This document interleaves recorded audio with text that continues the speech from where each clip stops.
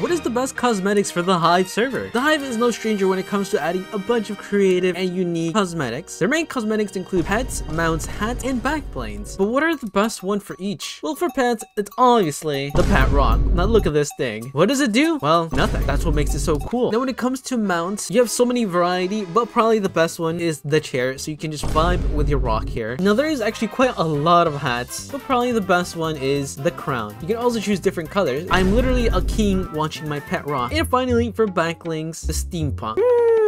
Now look at that. But what is your favorite Hive cosmetics? Leave in the comment section and drop a like for a free talk out. Thank you.